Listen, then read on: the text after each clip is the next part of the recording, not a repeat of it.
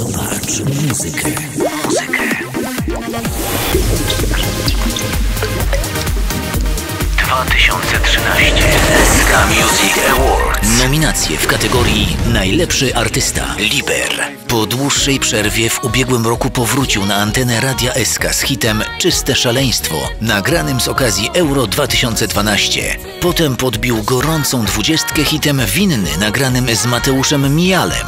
W tym roku nawiązał współpracę z Natalią Schroeder, a efektem tej współpracy są już dwa hity. Wszystkiego naraz i nie patrzę w dół. Dawid Podsiadło.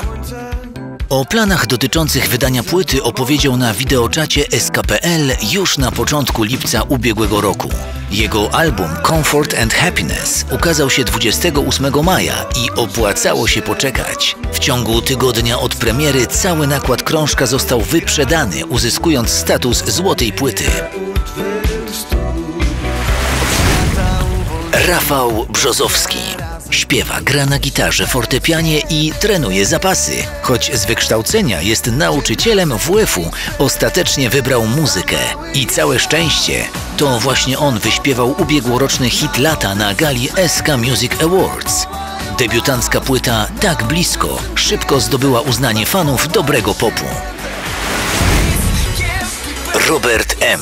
To jeden z najpopularniejszych DJ-ów i producentów w Polsce. Ma na koncie niezliczone hity, które od lat podbijają nie tylko gorącą dwudziestkę Radia SK, ale także klubowe parkiety.